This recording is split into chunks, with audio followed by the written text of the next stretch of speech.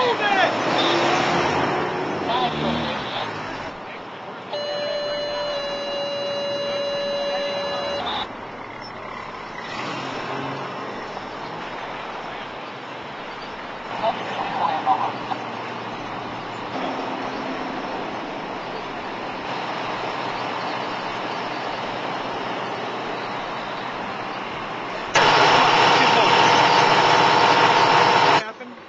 Was sitting in the kitchen and I was looking out the window. speak really loud, okay? Into the microphone. I'm sorry. I was sitting in the kitchen and I was looking out the window and I saw the truck when it came down the ramp to get onto the Bishop Ford. And as it came down, I saw it when it flipped over.